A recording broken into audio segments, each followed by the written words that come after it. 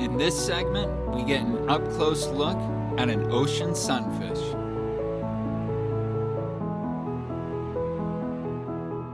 Ocean sunfish are commonly called mola molas.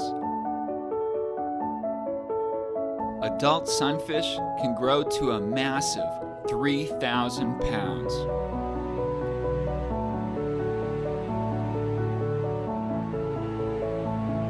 If you look closely at this sunfish, directly in front of the dorsal fin, you'll see a big gash where a boat had more than likely run over this sunfish. This summer, be sure to keep your eyes peeled for sunfish, especially when boating off Cape Cod.